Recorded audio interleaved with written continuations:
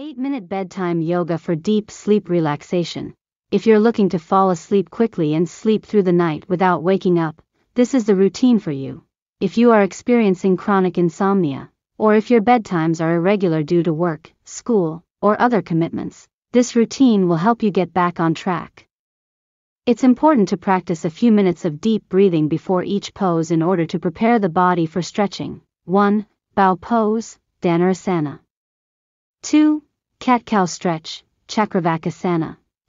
The poses are designed to be calming and relaxing for the body and mind before bedtime. All you need is yourself and a yoga mat. 8 minute